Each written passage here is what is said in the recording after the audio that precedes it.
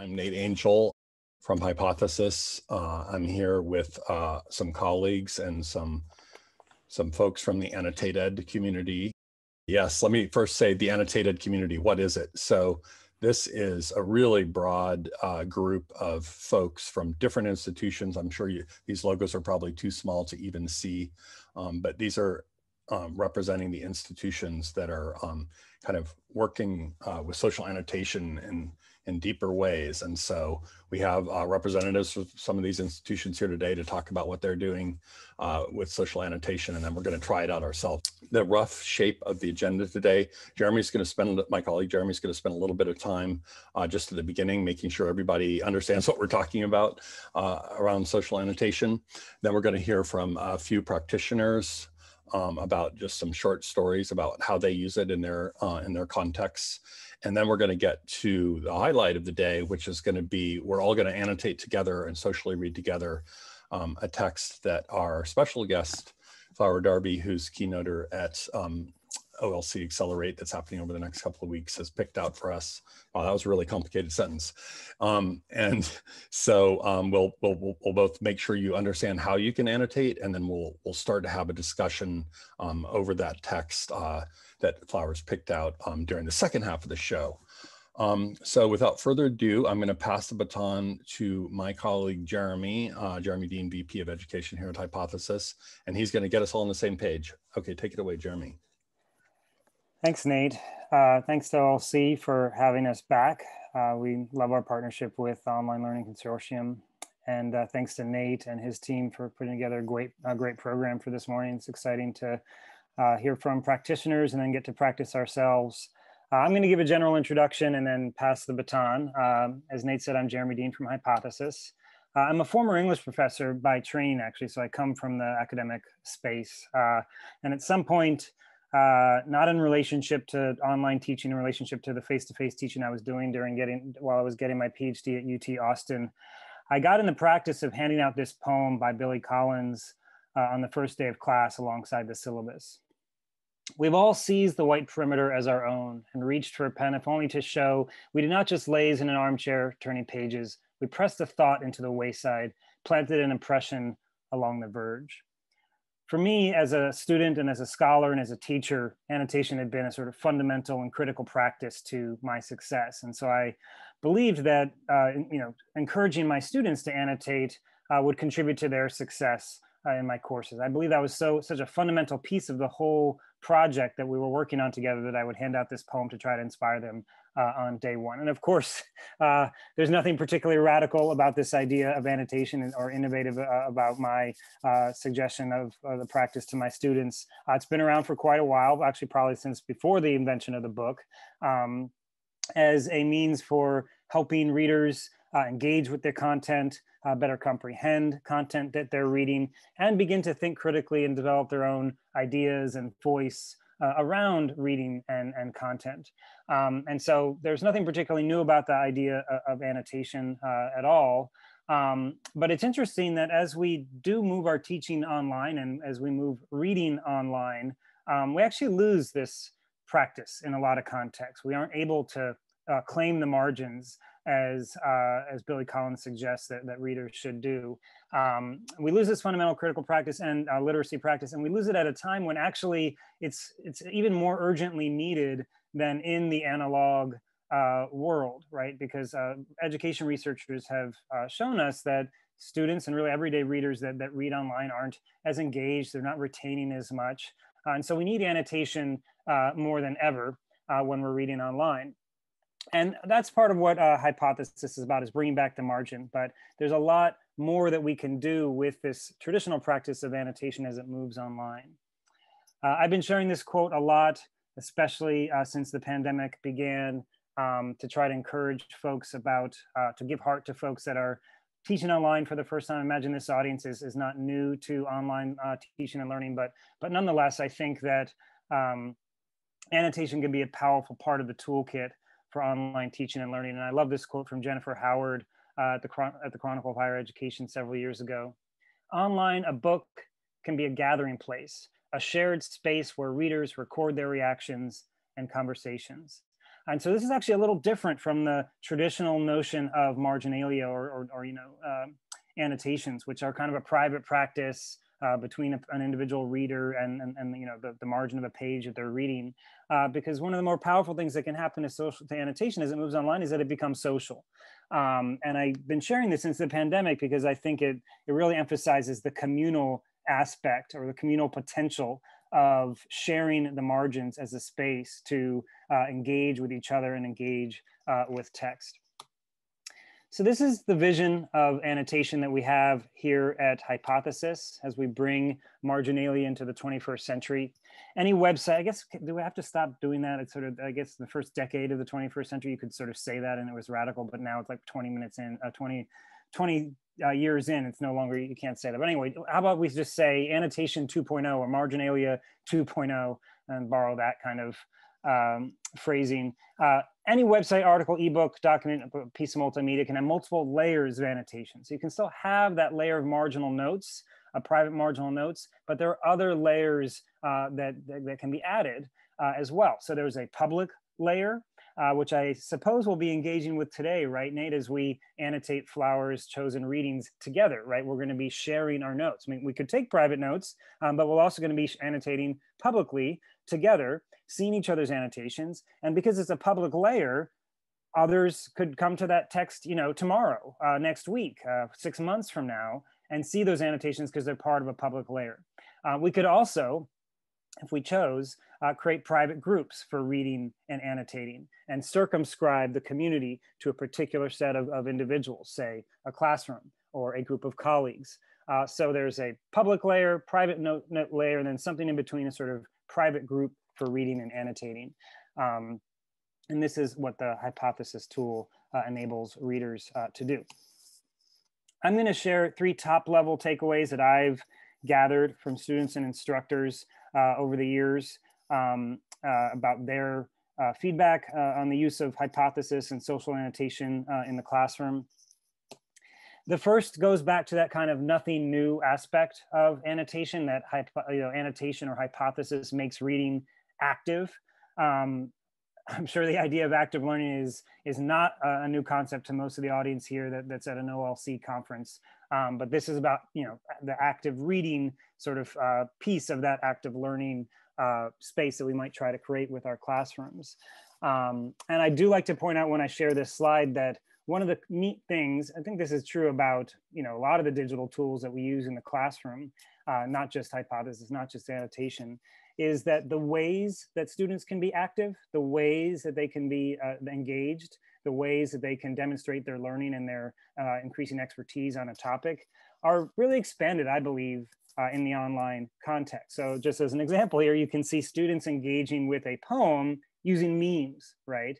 Not just written text, uh, but images, uh, video, uh, uh, hyperlinks, and other things. So these are multimodal uh, writing that can take place in an annotation, like as in other online contexts. And I actually think Nate has said it best uh, in another context that really every annotation with hypothesis is like a little mini website, right? So depending on your course and how you're leveraging the tool, you could be basically doing a mini lesson in web design for every, you know, for your for students in their annotations. Again, you don't have to. You can also just keep it at the textual level. But all those, you know, rich multimedia possibilities are available to you as different ways to be active, different ways to engage with content.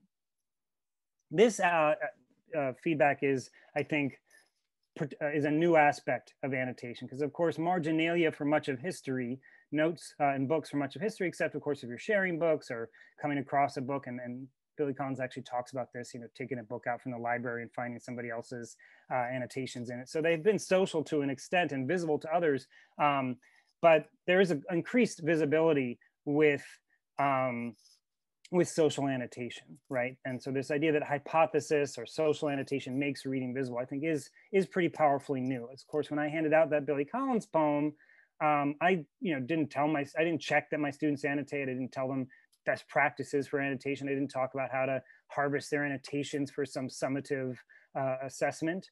Um, I graded a paper uh, three or four weeks later, right?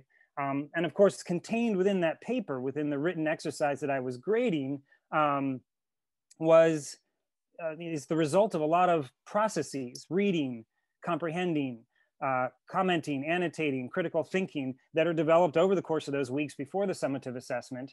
Um, and part of a process is constitutive of that uh, uh, uh, summative assessment that was sort of largely invisible to me back in the day when I was teaching in the classroom at UT. And now that process can be visible. You can see first of all, you can see that the students have done the reading, right? Because their foot fingerprints are over all over, and you can see their their early ideas. You can see how they're engaging. You can see where they're confused. You can see where they're insp uh, you know, inspired, and uh, you know help them along with a particular line of inquiry. This can inform, of course, your understanding of where a student is at in your course. Um, and and then you know reaching certain uh, learning outcomes. Um, it also can help you you know think about how you design your course or how you prepare for your your class meeting because you have this this this body of evidence in their in their in their annotations and you know where even where they didn't annotate might be interesting uh, as Lee Skallerup Bessette has, has, has uh, said when she's talked about hypothesis that the the gaps where people haven't annotated can be just as interesting sometimes as where they have. And then finally the idea that annotation or social annotation hypothesis makes reading uh, social uh, this is the thing that students take away uh, as we uh, as we can gather from the surveys they complete. Um, that you know the the social aspect is what they really appreciate and enjoy and find valuable. Uh, the number one takeaway they always say is that they learn from their peers um, uh, using the so social annotation, and of course the sort of testimonials we've heard from students over the past eight months are particularly uh, dramatic, just given the fact that many of them don't have a lot of other social outlets to connect with their classmates uh, because of the pandemic and because campuses have been uh, closed down or, or, reduced in capacity, um, that they found this is a way to stay connected with classmates when they don't have the hallways, the classrooms, possibly even the dorms and other spaces to have those connections. All right, I'm gonna speed through if I have time, Nate, just six provocations uh, and then pass it off to, uh, to uh, hear from our practitioners, which really, as Nate has said, is the highlight, uh, one of the big highlights of the, of the morning. Yeah, go for it. Cool. Um, so six ways to annotate uh, for and with students. Uh, first, and I've said this already, but um, it's it's not just about reading. It's not just about annotating. It is about community. Uh, again, I hear again and again from teachers who have come to Hypothesis because they want students to engage deeply with reading, who come away from their use of Hypothesis praising it for the sort of way that it has helped build and maintain community uh, in their classroom, which again, uh, all the more of an urgent need, I think, um, today as so many of us are, are teaching and learning online. Uh, as uh, Remi, uh, my colleague Remi, I'm not sure if he came up with this idea, but it's something that he has uh, propagated for sure, this idea of annotating the syllabus, um, and I think can be extended to annotating a lot of other ancillary materials from a course. And I think has added emphasis in this time of the pandemic when we're not handing out the, the syllabus on day one and it's online, uh, but opening up your course materials, your ancillary course materials like the syllabus to annotation by your students is a very powerful way to get them to just practice using the tool, to show how the tool can be used in different, different ways, and to get feedback on your course. Definitely have heard from instructors who had their students annotate the syllabus and made some adjustments as a result of the uh, feedback of students. And so that idea of co-design uh, of a course uh, enabled by hypothesis is, is a powerful one. So of course you can just turn on uh, hypothesis for students and, and see what they do with the, as the marginal space is kind of um, reclaimed uh, for their teaching and learning. Maybe they just use it for private notes. Maybe they choose to ask questions of each other, form little study groups to talk about the reading. Um, I do think the more that you are guiding students or the more that the annotation is socialized, uh, the more powerful. And so some instructors do um, a lot of annotation themselves. Uh, they'll create signposts uh, in difficult readings first to help guide students through uh, through a text like uh, like uh, Virgil guides Dante through through you know hell and and heaven in in in, uh, in in the Inferno. That's what that image there is there. Um, you can pre-populate a text with questions. We see a lot of this happening where a teacher will go in and essentially ask discussion forum type questions in the margins for students to respond to. But of course, students can ask questions themselves, right? and every student's question can be the blooming of a or the blossoming of a discussion forum that is student driven right rather than top down teacher driven kind of discussion Uh, and I think the seminar style, asynchronous seminar style discussion is the strength of Hypothesis. Today, you're going to be annotating synchronously if you're new to Hypothesis, of course, as we work with Flower to annotate together, and it can be done synchronously. Um, I think our synchronous time is precious, especially today. Uh, and so I think, you know, and it's perfectly reasonable to use Hypothesis synchronously, but I think it's also very powerful to use it asynchronously and have it inform your synchronous time together. Um, and so that's largely how it's used as sort of asynchronous uh, seminar style discussion. Um, and something along the lines of sort of sitting on the grass together with the books open and that kind of cheesy brochure image of what it's like to go to uh, certain kinds of colleges at least. Um, and then finally, this sort of loops back to number two, any, uh, any artifact from a class, lecture notes, uh, slide deck that can be turned into a PDF with recognizable text um, can be annotated, right? So for larger classes, we do see this sometimes happen. The teacher will, you know, uh, turn their lecture notes into something annotatable and, um, and have students annotate that with questions uh, where they're confused about maybe the lecture or connection can make connections to sort of popular uh, coverage of some of the topics uh, that, that might come up in lecture and things like that. And that, I believe, is my time and my portion of the deck. And I will hand it back to the Master of Ceremonies, Nate Angel. Thank you, sir. Great. Thank you so much, uh, Jeremy. I wanted to give people just maybe take a moment and breathe. We've it's been a it's been a really um, you know I think probably for everyone on this call, if you're especially if you're um, attending the OLC conference, um, you're probably a person who's been working nonstop since the pandemic started. I mean, I'm sure everybody has, but folks uh, folks like us who are, are work to support education you know, have really been working nonstop. Of course, there's all sorts of other things going on in the world that are really trying. And I think it's just, it's important to just take a pause and, oh, I'm stretching, I'm taking a deep breath and just saying, oh, okay.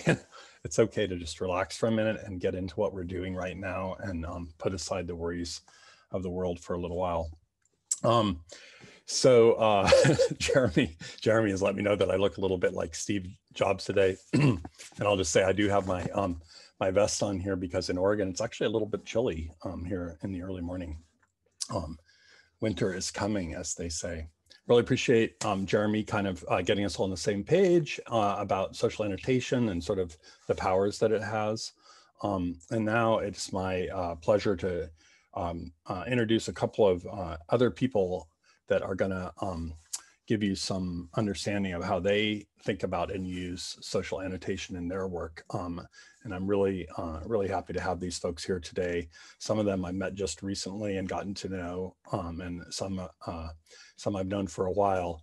Um, but uh, they're all people who have really made deep use of social annotation in their work and are kind of just going to give you a brief understanding of, of how they use it. Um, and then uh, we'll actually have them around and we can ask them some questions and stuff before we get started on annotating ourselves. So um, without further ado, I'd like to start out first with um, Mary Klann from University of California, San Diego, among other uh, among other places. And Mary, are you uh, you want to check your mic? You you came in a little bit late, so you didn't have a time to check your audio. Hello, can you hear yes. me? Yes, yes, we can hear and see you. Great. Um, and so um, Mary uh, is going to go first, and then we're going to hear from Matt, um, who uh, is really interesting um, because he uses social annotation in the context of math, which many people don't even think about. Um, so that's really cool. Um, and then finally, uh, we'll also be hearing from um, Remi Kalir, who uh, was just uh, named the scholar in residence at Hypothesis and is doing um, kind of uh, leading some uh, formal research around social annotation and its use in in uh, different educational contexts. So um, I'm, I'm going to stop sharing, uh, Mary. I don't know if you have anything that you want to share, um, but if you do, you could take over the screen. And if you don't, that's fine too. Uh, you could just uh, talk to us. So it's all yours. Take it away, Mary. So I'll just, thanks. Um, I'll start off by just talking, I guess. I um, will just wanted to I guess share a little bit about how I came to Hypothesis and then how I use it now. Um, so I uh, started using it in my undergraduate history classes. So I teach at UC San Diego and at San Diego Miramar College, which um, is a community college here in San Diego. So I have a, a bunch of um, you know different levels in terms of the types of classes I teach. So intro survey all the way up to like an honors uh, seminar kind of class. Um, and I use it in all my classes.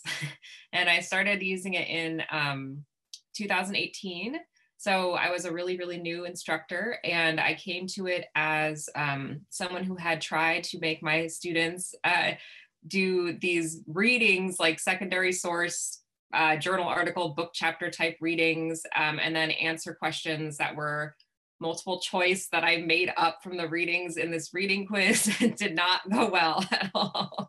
Um, so very grateful to the students in my very first class at Miramar who told me that they weren't understanding the readings, they were too challenging, and they just stopped doing the quizzes. And I was like, well, okay, there we go. so, um, I knew I had to try something else. And hypothesis is like basically um, what I really wanted to do with the readings was to get them to um, start to analyze these concepts and engage with each other and, start to do some critical thinking. And there's uh, not really a lot of critical thinking you do with a multiple choice test about the reading that I have spent my valuable time trying to create, which is another whole thing. So the questions probably weren't even that good.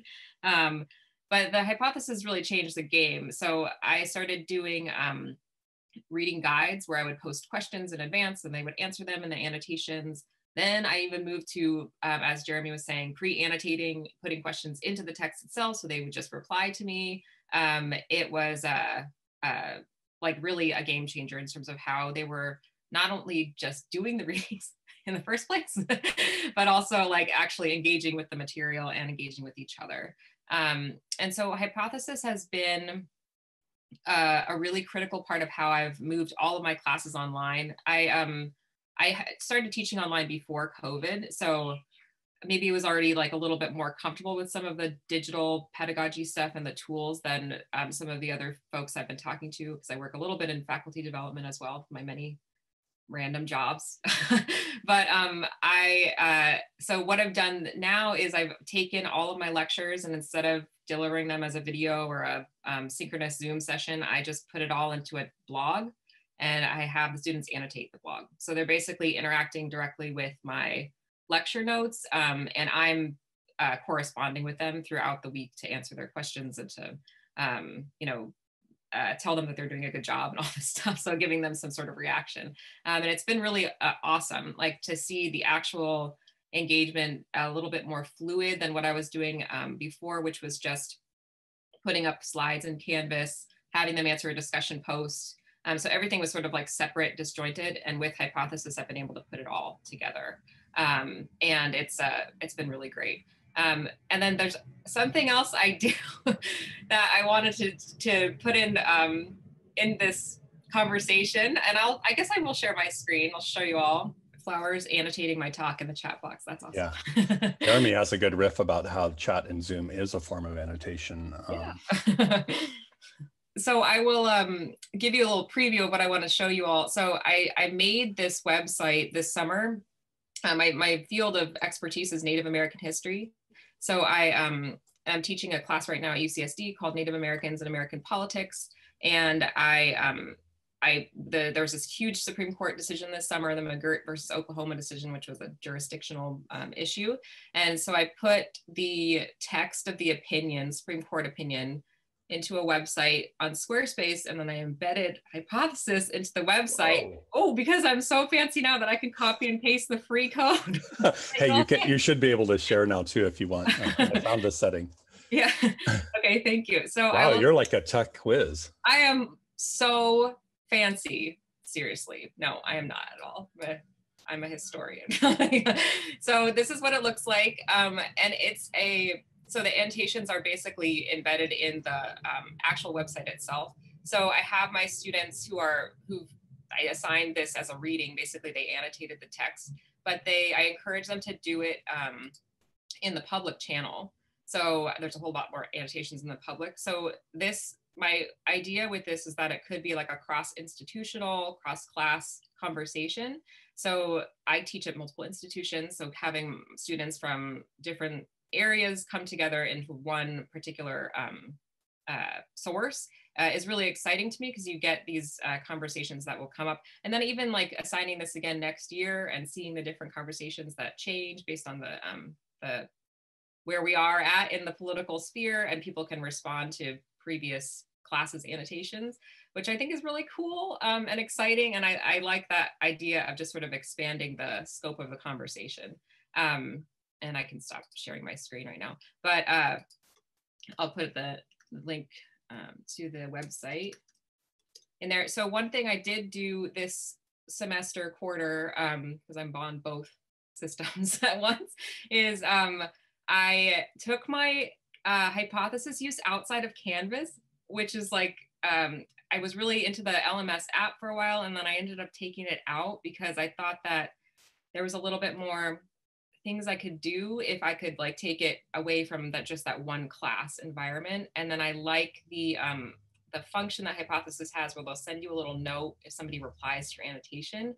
Um, so that's really kind of um, essential for the way that my class is set up so that I get a note when somebody replies to my annotation and then they get a note when I reply to them. And so the conversation is really sort of sped up or um, prompted in that way, which I really like. Yeah, so that's all I have to say for now. And I can answer questions about my website. I'll just do a little self promotion, throw my website in the chat so you guys can all see. no, that's really great. And um, Mary, let's, and if people do have uh, follow up questions for Mary, let's take them now too, because I know she has to go in a little bit. But um, I wanted to start out, um, and as I mentioned in the chat, my background is a little bit in history too. So that's why I'm always so excited to hear about you and your work. Um, although I uh, never got my doctorate, unlike some people. So there you have it. but at any rate, um, one of the things that um, you know you brought up here is this difference between using hypothesis in the learning management system environment versus sort of out on the public web the way you've done it, which is a really, I think, exciting and powerful use case, especially when you're um, trying to scaffold your students toward that kind of public engagement. You know, um, uh, you know, uh, do, doing the intellectual work in public. Um, and I think there's a, a, important space for that as well as a space to do it um, privately um, as you sort of build toward that more kind of public action. But I'm I'm curious. Um, uh, do, do, you think that uh, in your work that you would continue to find um, a need to use both kind of hypothesis in both environments, or do you think that you'll mostly be using it in the public environment? Oh, um, that's a good question. So I I always give them like at the very beginning of the of the class, I give them the option to use a pseudonym in their hypothesis username. So as long as I know who they are, that's all that matters. If they're because I say we're going to be learning in public. I mean, to an extent, I'm not sort of like driving traffic to my blog or anything although i am kind of trying to drive traffic to my the mcgirt website but um just well now you're going to get new new visitors as of today right? So, so um i i give them that option of if they want to remain anonymous if they're uncomfortable with that um it's been like 90% of uh, people that i've uh, that, that have are comfortable with sharing their name and sharing their sort of um uh you know assessments of the reading in public. Um but I, yeah, I do think that there is a place for just annotating like within the LMS as a class, um, especially if you're doing something like the syllabus or like the, these um, specific uh, tools that are, that will shape the way your class plays out. Um, that there's no real need to put that out into the public sphere, right? like to get students to really respond to you, I think. But um, right, other than that, I don't think they I don't think they care. I mean, they I really have a lot of really honest um, annotations and real honest questions and reactions, and they're just sort of out there putting their their thoughts out there, which is which is really cool. I think I like it. Yeah. And maybe that comes from me too, because I put emojis and like I swear a little bit and all that stuff. Like I just put my personality into the annotation. So. yeah, and so it's kind of demonstrating how one can act in public, right? I know another um, deep annotation practitioner, Amanda Licastro, who um, has been at Stevenson University, and I think she'd be okay if I said this is moving to University of Pennsylvania um, to take up a new position, talks about how she um, helps move students. She starts students out in a kind of private annotation space um, just to kind of like gear up and get used to the idea of annotation and, what it what it's like and then she kind of brings them toward a kind of public annotation as they advance um, so she kind of moves people across both system you know um, erica asked in the chat mary um, how you um, if you assess annotations and how you go about that yeah um, so usually I, it's a very low stakes assessment. I sort of treat it as, especially now, as class participation. So if they're annotating, they're, they're getting the full points. There's no, like, I don't go in and evaluate the quality of their annotations just because um, depending on the size of the class, it's, it would be too much too much work. I'd rather spend my time actually responding to them and sort of trying to draw them out if they're just annotating like one word. I give them like um, guidelines or benchmarks for what I expect. So I try to say, like, if you're going to comment on something that you find interesting, tell me why you find it interesting. If you want to comment on something that someone's already highlighted, reply to them so that you're trying to like engage them in conversation rather than just saying your thing and then moving on.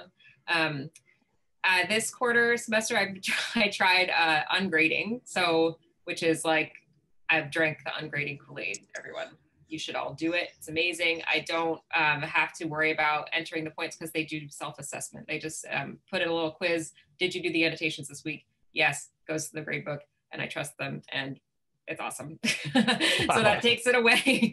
and I just really spend my time like actually reading what they have to say. Um, I was finding that I do a lot of these like low stakes things in my classes and I was spending so much time with these like little things entering in points, points, points. And I was like, what is the what's the use of this? I was getting behind overwhelmed. So um, I tried to just, I just burned it all down. yeah. You know, I always felt when I was teaching that I loved giving feedback, but I didn't like grading. Oh, yeah. And there's yeah. such a big difference. And yeah. uh, I think it sounds like your practice that you do with annotation is really about not just feedback, but just getting involved in the conversation with the students. Um, that's really great. So would you be, um, I don't want to put you on the spot, but, but would you be willing to share um, your sort of guidelines um, that you give to students about? Um, um yeah.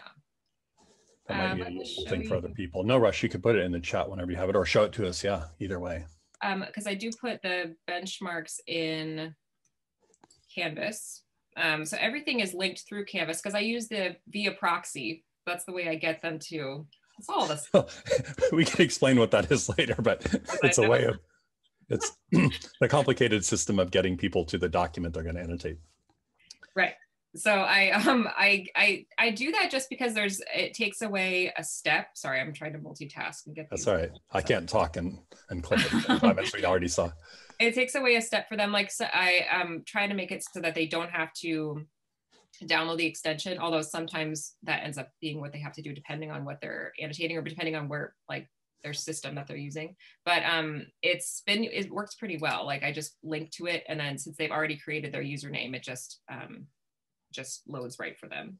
Um, let me show you. Yeah, and again, while Mary's doing that, I'll just point out that this is, you know, another one of the tensions between using the LMS app versus annotating out in the wild um, you know, in the LMS app, you don't have to create an account. You don't have to worry about getting the extension and so forth. And so there's some scaffolding there just around the technology, which can be a good way to get people started annotating and then later move to the public if you want.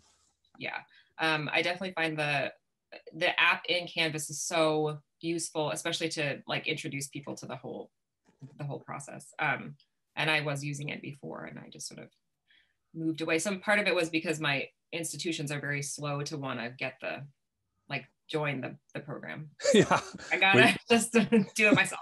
not your problem, not your fault. Hey, would you be willing to copy and paste some of that into the chat? Sure. So this is kind of my basics. Um, so they're really kind of general, like because I copy and paste this every single week, but um, I'll change it based on like um, depending on if there's a special thing on that reading for that week. So this one is about the McGirt decision. Um, so then I just say engage with the majority of the text, connect with classmates. But then the real kind of guidelines come in the actual annotations when I'm um, asking them questions they can reply to that are specifically related to those readings.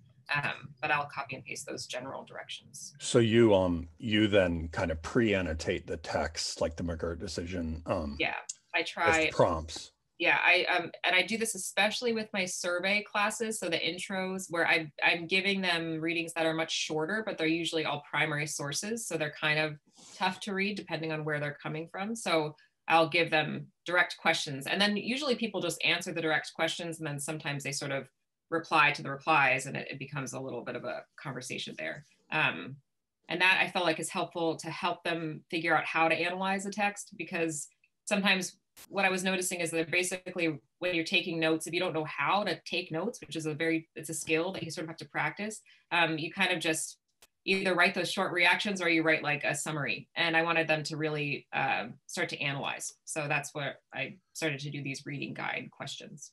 And I think so much of annotation can be um, used as a tool to model scholarship and, you know, in for students or with students, um, you know, you know, like you say, analyzing primary text, a basic, a basic uh, sort of activity for historians, right? Among other people as well, but all kinds of just like modeling reading scientific articles, for example, which which is a skill that has to be learned. I mean, I myself can mm-hmm. barely read a scientific article um, without uh, my eyes going buggy. And so annotation can really slow that down and break it up in interesting ways. Well, I I would I could talk to Mary all day, um, but um, and she thank you so much for sharing what you've shared. Uh, i really appreciate your coming. I know that you have um, some other things you have to do today. Um, is there anything else you wanted to say before we shift over and talk to matt a little bit? Um, no i'm excited to hear about the math. So i will stop talking. Uh, yeah i'll have to duck out in like 15 minutes but i'll i'll stay stick around for a little bit longer. Okay well that will that will give you time to hear most of what matt has to say i think so Great. Well, so um, thank you, Mary. And now it's my pleasure to introduce, introduce, I can't talk, introduce Matt Salomone. I think I got that right. Um, and uh, for, um, because we met before and um, he is um, math faculty and I believe chair at Bridgewater State, uh, Bridgewater State in, um, in Massachusetts. and is, we're really excited by his work because he, he annotates in math and uh, just that's not um, as widespread a practice outside of the humanities to do annotation but growing uh, by leaps and bounds we see a lot of stem folks now getting involved so um, let, i'll let matt take it away and uh, let us know how he uses annotation uh, in his work Sure. Thanks, Nate. Um, thanks also to, to Jeremy and Franny for uh, for having me here today and for putting this together. Um, so yeah, I do want to say a little bit about how I use social annotation in my classrooms. But before I get there, I always feel like as a math faculty member um, that I have to make the case for why why it's a social enterprise we're asking students to do in the first place, why we should prize reading skills and um, you know sort of discussion-based discourse in mathematics. Um, so I actually, I have a, a, couple of little slides and stuff that I'm just going to share through my camera, um, if that's all right. Uh, and Nate, I don't know if you want to, I don't, I don't think you'll need to because I'll still be talking. So probably everyone can see my video, but you could also spotlight it if you need to. Um, okay, we'll do. Yeah, we see you. Okay, great.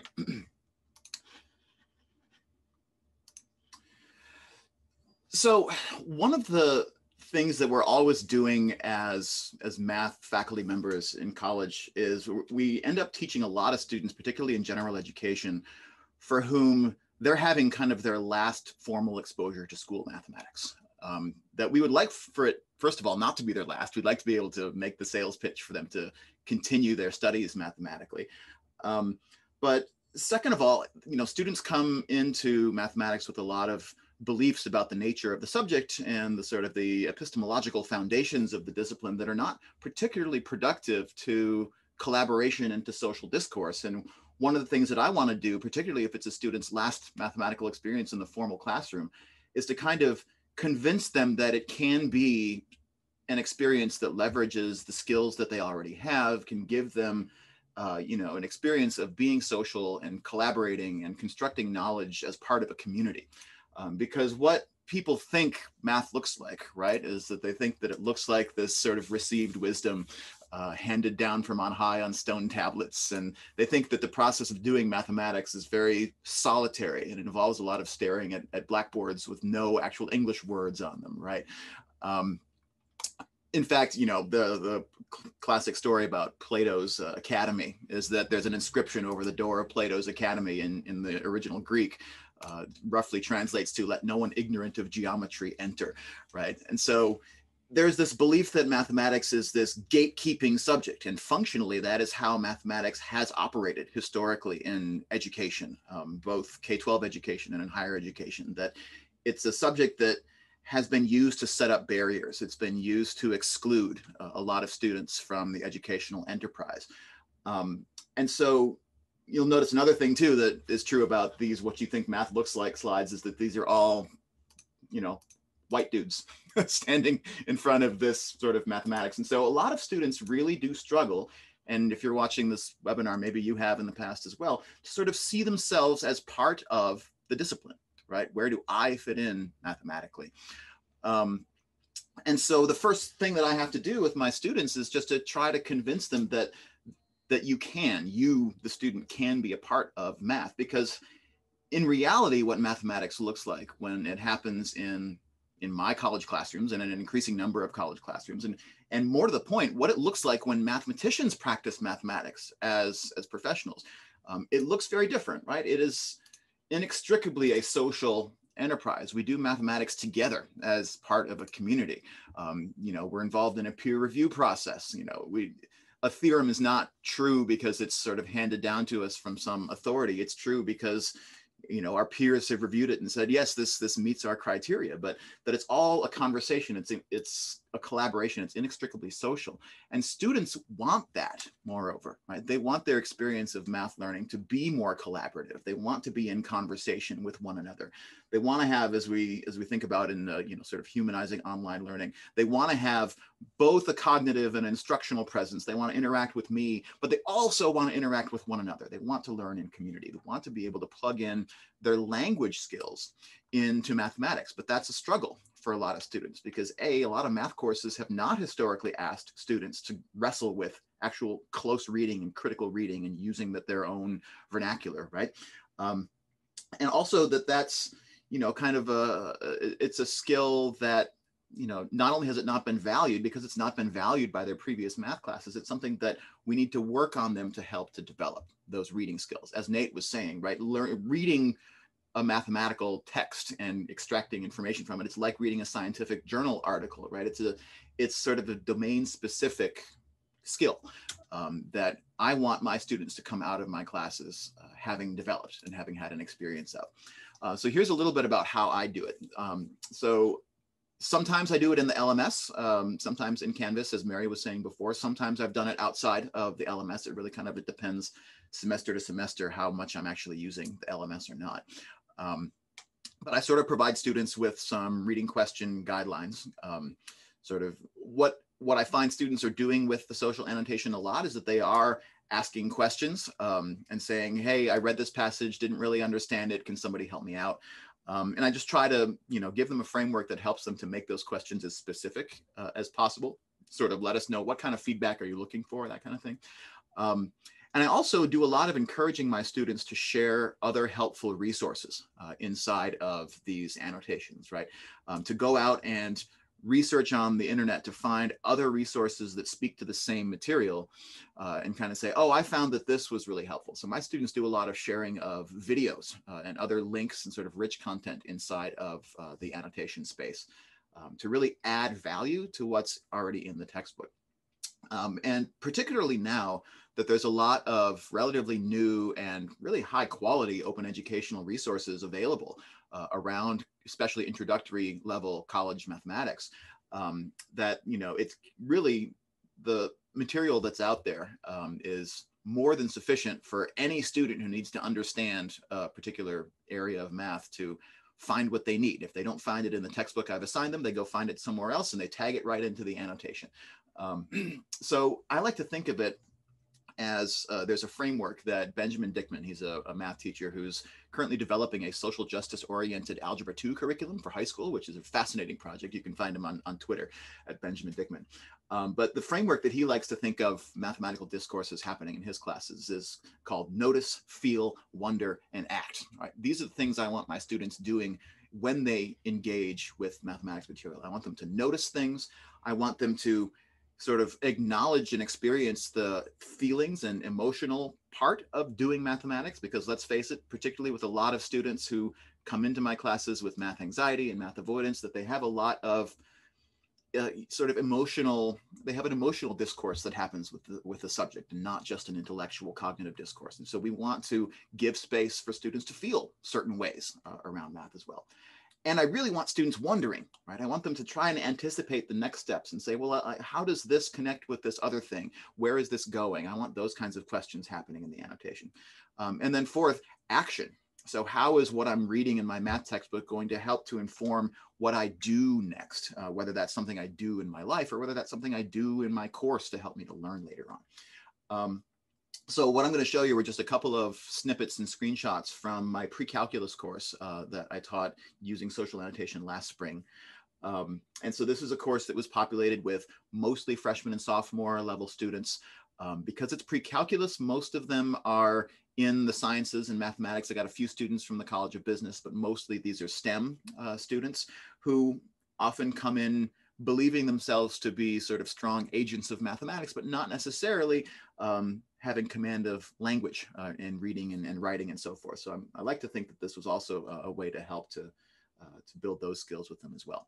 So on the notice side, what I saw students doing um, is that they'll sort of consume a theorem and say, well, is this, I, I, noticed that this theorem means this thing to me. This is how I'm reading it. Is this how other people are reading it and experiencing? Can I understand it in this way?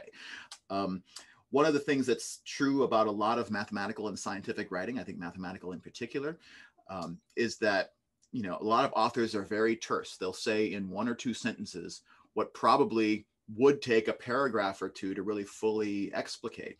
Um, and so the more we can get students to notice what's in the writing and to add to it in the margins, um, the more that they begin to understand what it is to read a mathematical text and to unpack the, the large amounts of meaning that are hidden in small amounts of prose. Um, one of the feeling things that I noticed, so this student said something interesting. I've always found the vertex formula for parabolas amusing. Um, I want more of my students to find mathematical ideas amusing uh, the way that this, uh, this student did. Um, but she found it amusing because of the different connections she was able to make between this particular part of it and the other ways of understanding. So her sort of mental scaffold was filling in. She was making connections between different parts of the material, um, and that that was that was a good feeling for her, right? And so I want her to be able to experience and validate those feelings, but I also want the other students in the class to see, hey, you know, mathematics can be a, a, an experience that's full of, of positive emotions in addition to the ones that you might have brought into the classroom. So the feeling step, I think, cannot be shortchanged, should not be shortchanged in the process.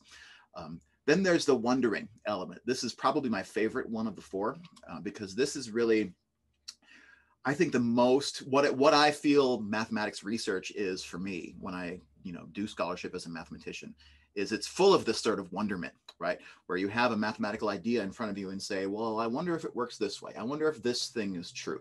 Um, because the fact is, as a mathematician, you know, the, the theorems that we discover and we prove, right? We, we get this gut feeling that they're true long before we actually have a proof that they're true. And so most of what I do as a mathematician is, is wonderment. Um, and then from that wonderment, trying to chase down whether, whether or not my, my suspicions are actually true or not. So this student says, well, would this definition I'm reading of a function also apply for an inverse function? Does it also work this other way, right? So kind of pushing beyond the boundaries of, of what's in the text um, to other ways of interpreting our, next steps that students might go to. Um, and then there's the action step. So I, I, thought this annotation here was a good example of an action-oriented one. Um, so the student reads this paragraph about, uh, about transformations, sort of gives some practical strategic advice for how to do uh, a particular mathematical task, student says, well, you know, should I just use this as my strategy? Is this, is every example going to work this way so that I don't have to, you know, expend a lot of cognitive load trying to figure out what framework to fit the next set of examples in? Can I take this to the bank and run with it, right? Um, to me, that's kind of an action-oriented uh, way of experiencing the text.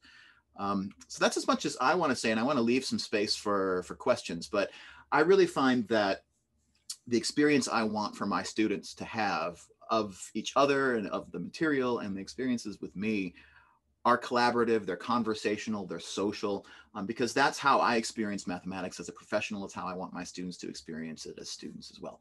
Um, so yeah, thanks for having me. So, so great, Matt you know, every time you talk, I'm like, oh my gosh, I wish I'd continued to study math more because you really uh, inspire me. Never I went too through, late.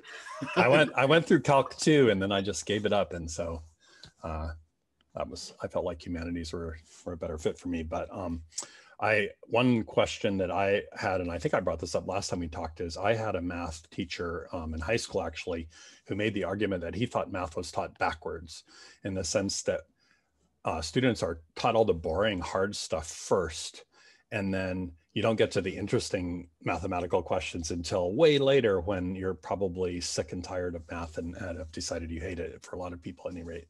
And I'm wondering what you think about that, this idea, like almost like introducing the concepts of calculus and, and geometry and stuff at the beginning, and then let the, the arithmetic and algebra come when necessary. You know? Yeah, and it's funny because I feel like a lot of sort of more specialized higher level courses in math are often taught in that way high concept right? Um, that we sort of see hey here's the here's the endpoint that we're working towards and then now let's try to backfill everything that we need in order to, to get there right? So you at least give students a sense of of where you're going before you start embarking to go there. Um, but i think that there's another way that i can interpret uh, what you're saying and that is that mathematicians as such right those of us who you know go into a math major and then do sort of higher study in mathematics what you find out is that the enterprise of mathematics becomes increasingly more creative and open-ended the higher that you climb up in the curriculum. Um, and i want students to have that creativity experience sooner right? I want them to have that right away right? Um, there's a classic text in in mathematical circles called uh, lockhart's lament. It's written by a mathematician named paul lockhart uh, which is really great reading. And it is a, it is a sort of a lamentation of a mathematician that why are we teaching K-12 students in particular um, in these ways of mathematics that are very doctrinaire and they're very sort of you know put into a box and compartmentalized? Why are we not encouraging more creative exploration? Why are we snuffing out students creative sparks in the math classroom? Um, so i really think there is something to that because um, one of the things I love about my discipline is how creative it is to do research in mathematics. And that is not the experience that a lot of students have with it, particularly in the earlier grades. Um, and so no wonder that they don't see themselves in my discipline if that's how they're experiencing it. Yeah, and I think, I mean, that's maybe more true in math than in some other subjects, but it's kind of true in every discipline, right? That a lot of the, um, you know a lot of the creativity and interest is saved for the end after you right, right. do all the hard work of of like you know um, getting getting footnote format right and and things like that that are actually not like the most necessarily the most important or exciting part of, of say history for example like in mary's discipline. Well do folks have um, other questions for for matt? I i again uh, just love talking to him myself so i kind of forgot everybody else was here Uh, you can put them in the chat if you have other questions or if any of our other panelists have a question they wanted to or a observation they wanted to, to Matt. I think people have been commenting on your great uh, sharing setup, which. so I, I'm going to actually uh, have to look into this, doing it with Zoom, because I actually don't do it with Zoom. I do it with a separate software package um, that does all my compositing. But um, yeah, so I'm gonna I'm gonna look up this. This might be a better way for me to recommend this strategy to my colleagues. Something that's a little easier, maybe. Yeah, I, I really appreciate how your setup also um, does automatic, um, you know, text captioning. That's, that's yeah. I'm just using Google Slides for that, which I noticed yeah. you do too. But yeah. Yeah, and I hadn't flipped it on. I have had a, different experiences with how well it works, but yeah, it's better than nothing, right? yeah, right. Great. Oh, it's uh, so the, what they're talking about, it's uh, it's beta and Zoom. Interesting. Yeah, we should all try that out because it. Um, I definitely think it makes for a more more um, effective presentation style.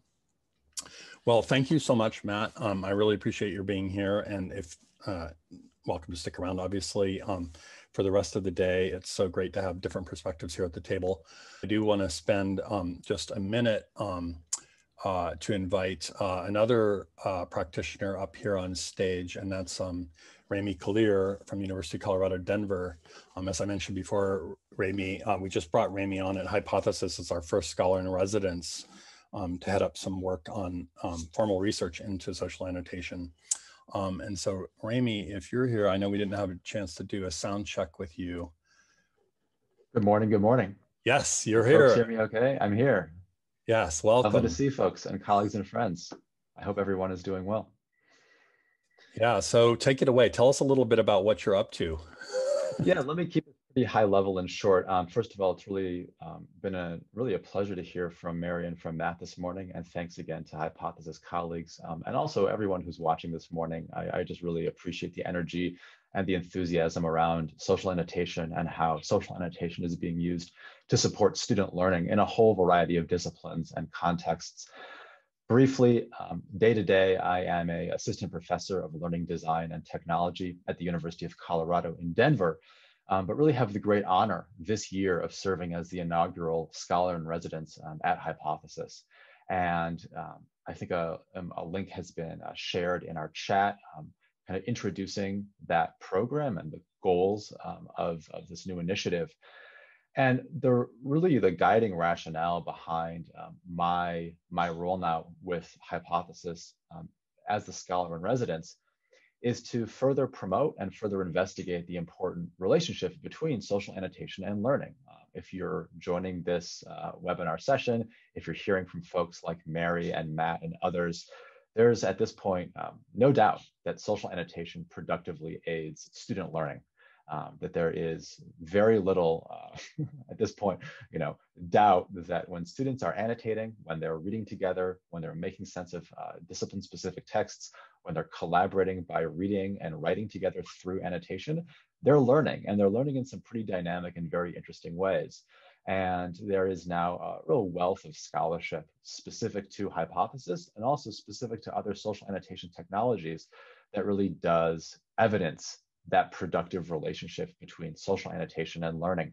And so my role briefly is to help not only to promote that work and make that work more publicly accessible, but to also start new research projects and new investigations into how specifically those types of productive learning relationships can exist. And so we're beginning to now launch some new research projects at a number of universities and with a number of other educators and researchers who are really eager to help really move the field forward, but also, of course, at the end of the day, support student learning and student success.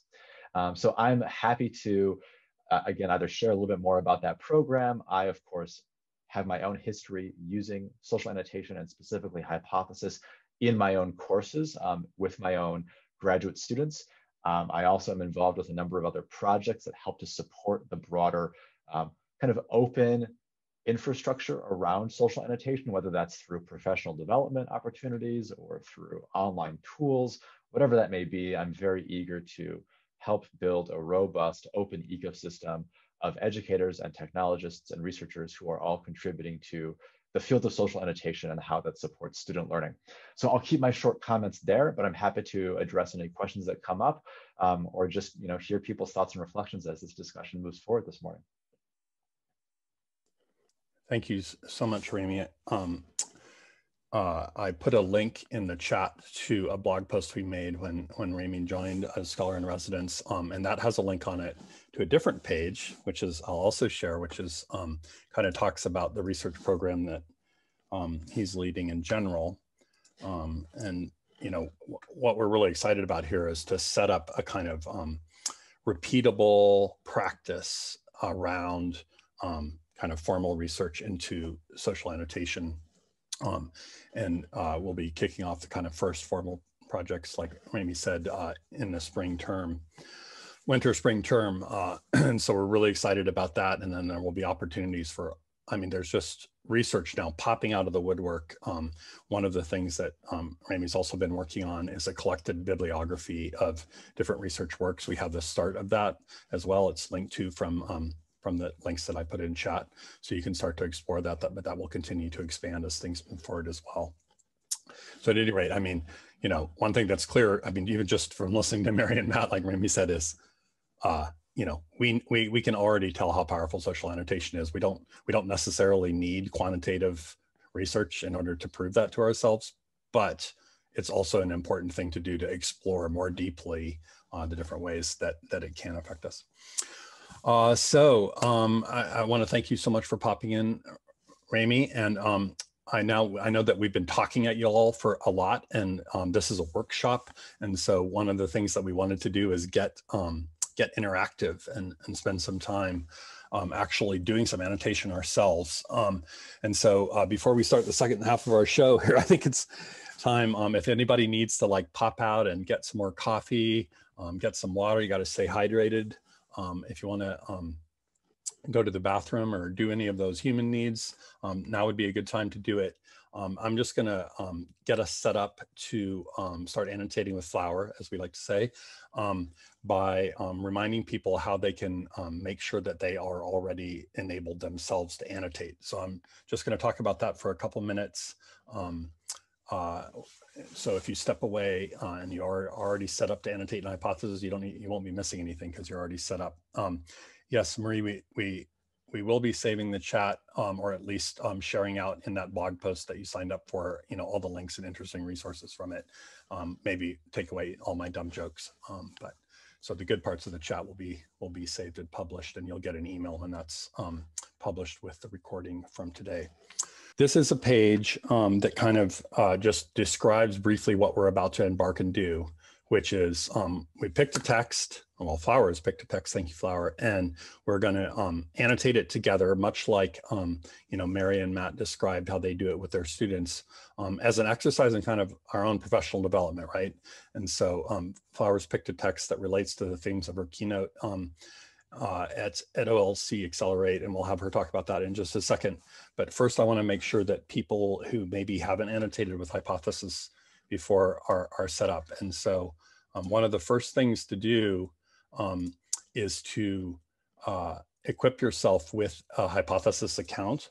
You actually won't need to install anything like a, an extension or anything today, but you will at least need an account in order to um, to join in the annotation part. So if you haven't done it yet, um, take a few minutes moments to follow that link in the uh, that I just put into the chat um, and make sure that you're signed up for a, a, hypothesis account so that you can annotate in the wild, um, what we say the, uh, in the wild uh, across the public web. Um, and uh, we'll, you'll, that's an account, of course, that you'll be able to use for annotation for any purpose um, ongoing. And just to underline again, it's a little bit different than what happens inside the LMS context um, when you're using hypothesis there, because that's a single sign-on environment with the LMS. So this is sort of like equipping yourself with hypothesis to work outside the LMS, right?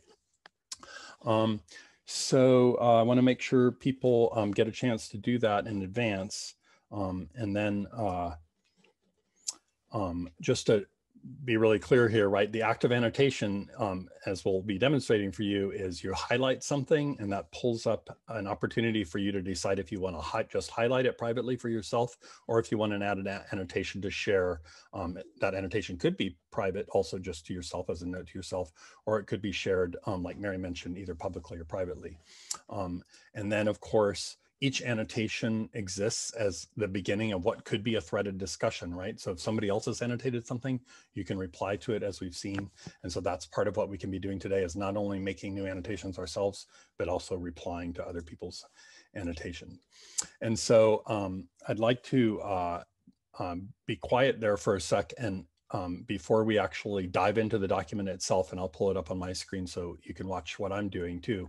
But I'd like to give Flower a chance to introduce herself, say a little bit about who she is, why she's here, um, and um, kind of give us a preview of the text that she selected, why she picked it out, and what she's thinking about it. Welcome, Flower. Hi, Nate. Thank you so much for having me here today, and thanks to everybody who's made the time to be here. I really appreciate it. Sorry, do you want me to just to go ahead and talk a few minutes about what we're doing, why I chose this text. Yeah, okay. See, we're very authentic here. That's what I like about this event today. Rolling with the punches. So, um, so right, my keynote that I've prepared to deliver on Monday for OLC Accelerate is um, focused on the power that we have when we use really innovative technology and when we pair that with really effective teaching how much we can empower students to engage and learn. I my own personal experience working in ed tech field and instructional design, I think many of us, although I'm, I'm going to say maybe not those of us who are here today, but many of us working in this area really do focus a lot on the technology and the tools and what can we do. And to be fair, this is a workshop about a technology tool that we can use. But I think sometimes the conversation doesn't focus enough on what we're doing to actually teach our students. And I was quite inspired by Matt's comments about we need to kind of change the conversation and the experience that students are having. So, um, so anyway, in recent months, that, that's basically the gist of my of my talk is how do we uh, empower students through really great technology like Hypothesis and also through really great teaching. Uh, my thinking has, of course, I hope like many of us, like all of us, it's been really impacted by the events of the last six to eight months. And so um, I have a focus on how do we use technology to teach equitable and inclusive classes as well. And um, supporting the students that we know uh, had faced more challenges in the big pivot online, and then uh, whose situations are compounded and, and even more complicated and complex as a result of Black Lives Matter and the sort of the renewed energy around racial tensions and such that we've experienced after the death of George Floyd. So those those issues together, that's where I want to really think deeply about how do we teach well, how do we use tech well, and how do we address the systemic inequities that are oppressing um, so many of our students, and what can we do to support them. So this text that I selected, I will be referring to it briefly in the keynote. It certainly won't be in as in depth as we'll get into here. It's hearing from the students themselves, and I think that's another overlooked piece, or sorry, I should say overlooked piece um, when we get together and we talk about here's the things that we can do and many times faculty um, are not necessarily thinking about the student's lived experience again i'm going to qualify that right now and say well not those of us who are here but uh, in general i think we could do better to listen to more from the students themselves and so i like this uh, summary report of research that took place with 13 different focus groups of students all around the country from underrepresented, underrepresented and uh, marginalized student groups, um, just to see what, what are they saying they need and how can we therefore help? That's a little bit of an introduction to why I'm here in the text that I chose. That's so great, Flower. And um, I really, um, I know that it's kind of a tricky situation to say, hey, before you give your keynotes, how would you like to come on and like talk about it and give all the interesting tidbits away? No, just kidding. Um, I'm sure actually, um, sort of like other educators um, use reading to set up more interesting discussion in class. I think the work right. we here do today will make us like better participants in your keynote um, when it happens sure. on Monday, right? Yeah, so for folks who are attending um, OLC Accelerates, um, um, Flower will be giving both a, a, keynote and a plenary closing session. Um, and I believe at least the closing plenary is open to the wider public as well. I'm not sure about the keynote. We can double check that in the background, but um, if, if you aren't, uh, just a little plug for OLC, if you aren't attending already, you can still register and the, the cost of it is very low this year. It's all virtual, all online environment. There's all sorts of really exciting things happening there, including more interesting stuff um, uh, with social annotation, uh, as well as like a host of other things. So it's it's it's a worthy a worthy conference to get involved in. It goes on for the next two weeks, believe it or not. I don't know what it is about about uh, the pandemic time, but it's I guess we've decided that conferences that used to only last a couple of days or a week are now going to be extended over like a whole month. So. Um, so at any rate, um, without further ado, I put a link there in chat to the document that um, that Flowers picked out. And I'm gonna just go ahead and share my screen again for a second, um, uh, just so that you can see, uh, see what it looks like uh, for me. And so first of all, um, just a couple of things to orient you to, right? The document is here on the left. It's a PDF um, like Flower said. Uh, and you can see it has, uh, I think it's about 30 some odd pages long, 33 pages long, right? Um, and there have been a couple annotations made already on it. Um, so I, I made this first annotation just to the very top to kind of orient everyone and make sure there was something on it. And, um, and let me uh, actually refresh the screen. Um, and then Flower has added uh, an annotation of her own too. You can see there, um, She's got um, a video embedded in her annotation just to show how that's possible. And then she started to add some other things as well.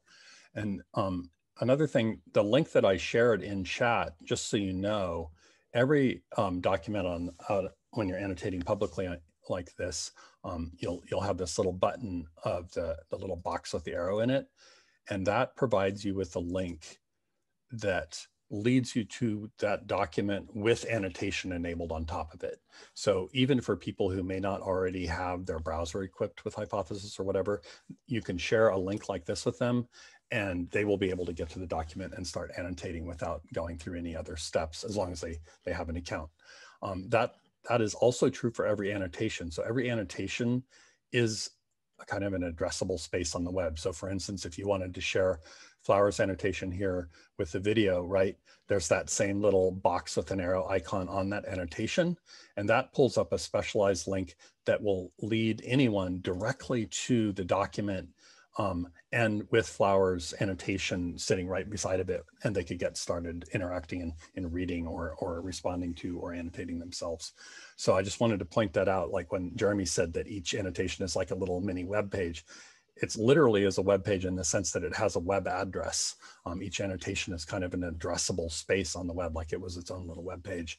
And so you can um, share links to them. So I just want to make sure that people um, see that and know about it. And so um, I'll, I'll, give Flower another chance to, to weigh in here too. But um, now is our time to actually go through this relatively um, uh, rich document. Uh, it has a lot of really interesting information in it. And start to uh, have a discussion on top of this document um, by means of annotation. And so you could start that out um, right by replying to one of the existing annotations. So if I wanted to reply to what um, this video that Flower shared out here, I could you know begin a threaded conversation right below it. Um, or I could move through the document myself as I'm reading, highlight some text, and that will bring up a little interface here where I can choose to either annotate or highlight. Highlights would again just be private to me, but if I hit the annotate button, then I've got a little space where I can say what I want to say about the text that I've selected. So let me give Flower another chance to, if she has anything else she wants to say before I uh, shut up and let people read in, in peace. Um, but also, um, if people do have questions, um, we could certainly uh, we could certainly address them if, if anybody's brought up anything in chat. I'm just pulling it up for myself. Did you want to say anything else, Flower? Uh, thank you, Nate. I, I don't know that I had um, anything else specifically to add. I'm, I am curious to people's reactions um, about people's reactions to this reading.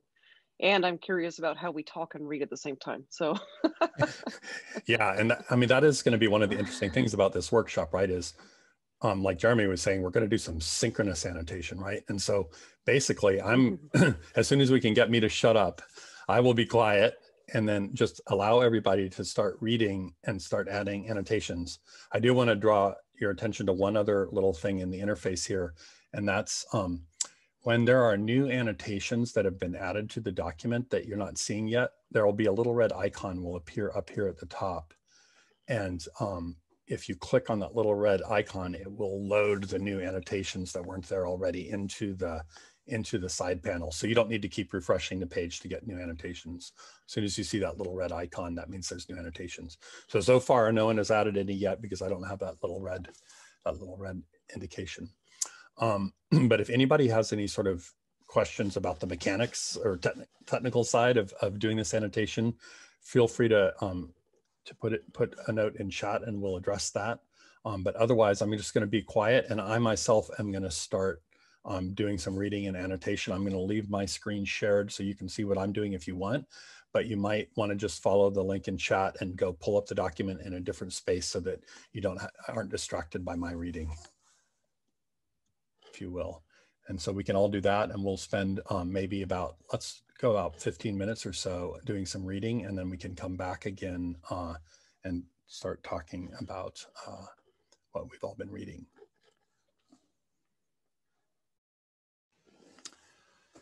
Hey everyone, it's Nate again. I know we've been spending a little time reading and I, I want to apologize um, that not the entire document doesn't have selectable text in it as we've been discussing in the chat. Um, it's interesting because it did yesterday. um, so uh, I kind of worked hard to do some extra backflips to make sure that the document was fully annotatable and um, seems to have re reverted in the night. So uh, my apologies for that. Um, we'll look into it. But as we've been discussing in chat, obviously one of the key things here is that um, this is a rather complex PDF with a lot of images and so forth. And it was produced in such a way that it, uh, actually all the text wasn't um, embedded into the PDF as selectable text. Um, the publishers did take some extra steps to make it accessible like to screen readers, but the steps that they took didn't also make the text selectable on the screen in all cases. Um, we thought we'd worked around it, but apparently we didn't fully. So I apologize. We're only able to annotate um, sort of the first section, and that's why our annotations are kind of um, kind of concentrated in that. So my apologies, especially to Flower for that, because it's a really rich text, and a lot of that, a lot of the really interesting points in it are in those later pages, I think. So um, and um, if anybody is sort of begging the question, like, why can't we just annotate images? Well, that's a feature that um, Hypothesis doesn't have built into it yet. It's something that we want to do. And it has to do with the difference between anchoring annotations on an image versus anchoring annotations on a text selection, which are sort of different anchoring sort of uh, uh, problems to solve on the technical level. But it is something that we, we do plan to do um, in the future. So this will become less of a problem then in the sense that one will be able to annotate images, but that doesn't take away that the fact that images in general aren't fully accessible. And so um, something to think about um, as, you know, uh, and this is something to think about whether you're annotating or not, right? If you're using PDFs um, as, you know, as class readings, you know, ensuring their accessibility is, is an essential uh, part of part of signing a PDF, and there can be um, hitches along the road as we're experiencing today.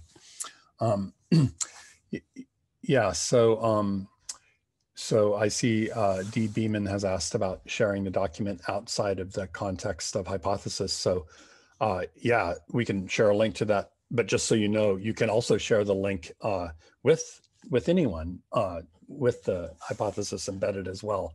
Um, but um, I will navigate to it uh, for you. Um, it's published by Every Learner Everywhere.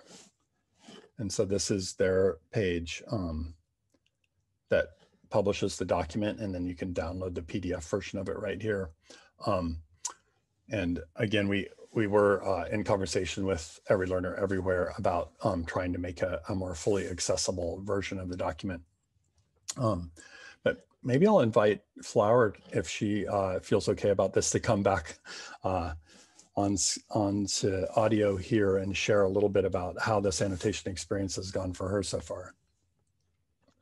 Yeah, thank you, Nate. It's been very interesting. And I, uh, I'll go ahead and confess that this is my very first opportunity to annotate socially with Hypothesis. I've heard about this. In fact, I've actually written about it, um, but uh, had never actually tried it myself. And so it's I knew that it was a good thing sort of intuitively and experiencing it here together as the conversation I think has so much potential and power even with the limitations that we kind of experienced today and I I I thought that was the case Nate you said it was fully accessible yesterday and I and it was I don't know what happened overnight but Yeah I don't um, either I'm going to blame the internet apologies. There we go. Let's let's oh let's blame the pandemic. That's yeah, it's the pandemic for sure. Escape. yes, uh, but I think all all um, experienced instructors need to know how to sort of improvise and go with the flow when i mean it, it, here's another lesson right? Teaching with technology something is bound to go wrong. That is just you just need to plan for that and anticipate it. And so it's been really interesting to see how the conversation has developed and flowed even even though we couldn't uh, fully access all of the parts of the text. So this has been my inaugural experience with hypothesis and it's really lived up to my expectations. I'm thrilled with how this has gone. I really appreciate people's engagement with it as well yeah, and just to everybody's point, I mean, engagement doesn't need to stop here, right? So um, we will be, uh, you know, kind of sharing what happened at this workshop more widely too. And so other people will be able to visit this document, see your annotations, respond to them, and also make annotations themselves. Um, uh, and then as we were discussing with Beeman there in chat, um, there's a link to go get the document yourself. And here is the kind of amazing thing about hypothesis that I still feel is a little bit like black magic. But if you download the PDF and open it up on your in your browser and you have Hypothesis enabled in your browser locally on your computer, um, right now that's only possible in Chrome to do this, uh, to read a PDF locally um, with Hypothesis.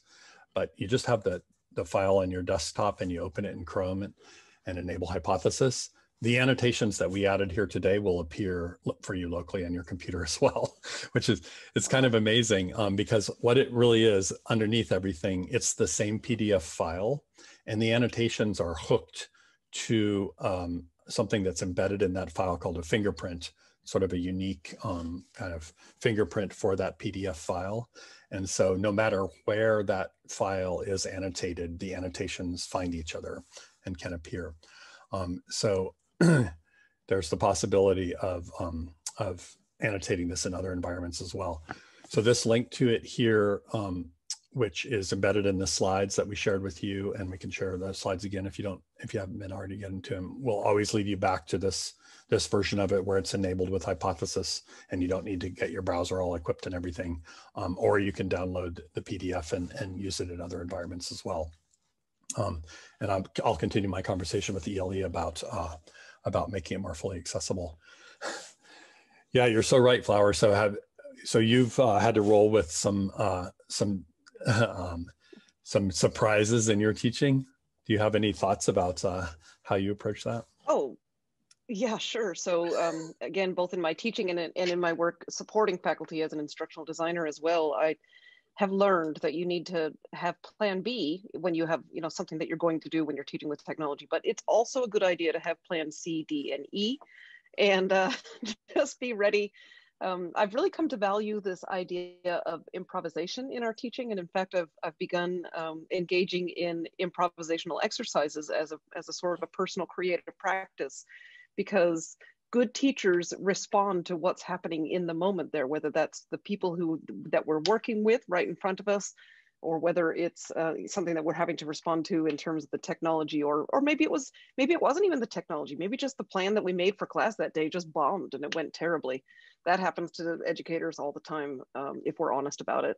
So learning how to uh, roll with those punches and um, be able to respond, I think, is a really key element for for instruction and it, it, again it, it demonstrates that kind of compassion that we were talking about where we uh, recognize if something is not serving our students well and and we modify our own approach. We're we're willing to change. We're willing to admit maybe something didn't go wrong. There's a there's a degree of humility and vulnerability that goes into really great teaching as well. So. Yeah and i mean for instance like something might be happening in the wider world that is happening in the moment of class that one has to uh, sort of at least recognize as maybe affecting people's lives. You know, like a severe weather event. It... Sorry, go ahead. Yeah. no, it's fine. I I've been thinking a lot about this because um, the new project that I'm working on right now is responding. Um, part of it is about responding to the emotional climate, and I was really intrigued by what Matt was saying earlier about how people feel about math and and sort of giving them space to work through that.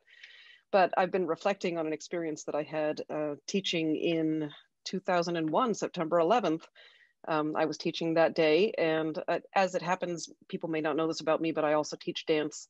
And I was teaching a really high energy dance class that day, and I didn't know what to do with the with the tragedy that was happening in the entire country and the weight and the oppression that was everybody was dealing with. And I in that moment, and to be fair, that's almost 20 years ago. I'm, I'm wiser now.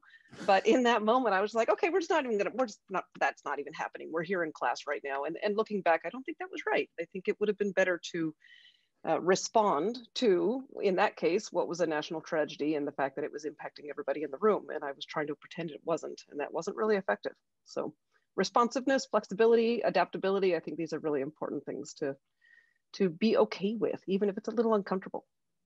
Yeah, so it's like um, in order to be more sensitive to the situation that our students are in, we need to give ourselves the space to be more vulnerable and open as well, right? One, yeah, 100%. And even right now, in this particular moment, we have faculty all across the country trying to learn how to teach more in this kind of a format, that this was not really a thing before March 2020, the synchronous online teaching in Zoom, this kind of thing. And I, I know many faculty, maybe some who are here today, are frustrated, are struggling, are tired, quite frankly, um, and I've, I've been working with faculty telling people, uh, whoever will listen to me, let's, let's give ourselves some grace. Let's be patient. This is new. We, we didn't set out to learn how to teach this way. This came unexpected. I do believe with practice, we get better with whatever the, the experience that we're trying. I was listening to both Mary and Matt and kind of listening to how they've evolved their practice with hypothesis in ways that you know they're doing things now that i bet they didn't do the first semester they started teaching with hypothesis and i would argue we'll be doing the same thing right now in this moment if zoom teaching continues to be a thing and i, I suspect it will in some form or other uh, to some extent or other i should say Um, you know, we need to give ourselves that grace, be willing to admit that we're learning, and and the students really respect that. That that uh, when they can come into our learning journey with us, that really helps as well. Yeah, and I know we're. I, oh, sorry. Go ahead. Sorry, I was just going to say. I know we went a little off topic. I'm I'm just waxing philosophical now about my my opinions about great teaching and how do we support our students. Well, I think I mean that's part of the reason why um, you know we wanted to have you as a part of the workshop was because that is your focus. Um, presumably, you're going to be talking about that in your keynote. It's obviously part of your written your written works as well. Um, and you know, one of the things I think in the background here is um, I know a lot of the students that I've interacted with have complained about the Zoom, the move to Zoom, in the sense that it seems like everything now is just like, let's have this synchronous meeting, right? When there are so many other things that could happen, maybe asynchronously to set up more valuable experiences when you're together. Yeah, that's that that was resonating. Now I don't quite remember if it was Mary or Matt, or maybe they both sort of said something. Uh, but maybe it was Jeremy. Come to think of it, but the idea of using of that asynchronous, everybody, the whole yeah. the whole conversation, how we use that asynchronous interaction, and how that's actually richer. Because look what's happening here, Nate. We're having a nice conversation, and these kind people are willing to hang around and listen, but we're kind of talking over each other a little bit. I think that's one of the most awkward things about Zoom is that it doesn't handle that audio talking over each other thing but in that written form we can more fully you know develop our thoughts and we can add that richness with those videos with those links to other resources with those memes. I loved that screenshot of the students placing memes into the comments. I was trying to be clever enough today to do that and nothing really came to mind but uh, maybe later i'll go back to the document. Yeah you have to be in the right mood to, to meme right yeah. you know, and so I wanted to um, maybe this is a good spot too because we're getting close to the top of the hour. Um, I'm going to put another link in chat here, and so one of the ways that we got to know both Mary and Matt was through a show that we produce called Liquid Margins. We invite educators on to do this kind of exploration and conversation, just generally. There's actually another one coming up yet today that is again um, specifically focused on this question of how to create what um, the presenters call hospitality in a course environment. And so um, this liquid margins episode that's coming up later today um, is with Maha Bali, Mia Zamora, and Autumn Caines. Um, and I'm, i see Flower knows their work. Um, big thumbs up, right? I, have also found myself doing that a lot because of Zoom. It's like a lot of gestures. Right. Like, right. Kind of scary sometimes but um so i invite anyone who's interested. I don't want to take you away from the other stuff you may be doing in, in conjunction with olc or whatever but we do have that other uh, if you haven't had enough sitting around watching interesting things about annotation on zoom today um there's that liquid margin coming up. So um you know we're, we are just about out of time and i want to give flower a chance to to have the last word here um uh is there any you know as you look ahead to your keynote um, is there anything about this experience uh, today that you think might change what you were going to say? You may have it all locked and loaded. Well no I, it's a good question and i'm going to punt and say i don't know yet. Um, so you you know in our preparations for this event you mentioned that previous olc keynotes have sort of brought in some of this interaction into the keynote and that's the advantage of doing this before I don't know yet. It's certainly not all locked and loaded. There's still time for some uh, updating. So I thought, if nothing else, I might put the hypothesis logo on a slide. I might do that. No. Oh, well, that, that's too much to ask for. Don't don't worry about that. We're not we're not in it for the promotion at all. So. Um, I want to reflect on the on the experience that we've had here. I'm I'm definitely a reflector, right? So let me let me give that some thought over the next day or two, and we'll see on Monday um, how how uh, yeah. No, well, no pressure. Fair. no pressure at all. Yeah. It was actually uh, Maha Bali who will be at the Liquid Margins, who was the previous keynote yes. who brought the brought yeah. it into her keynote. But she was doing a kind of experimental keynote to begin with that was kind of crowdsourced in a in a kind of a strange way. So Ooh, interesting. Yeah. anyway, mm-hmm. well, thank you, uh, Flower, so much for being here for picking this text. Um, thank you everybody who attended. Uh, thanks. Mm-hmm back to Matt and Mary and Jeremy also for speaking with us.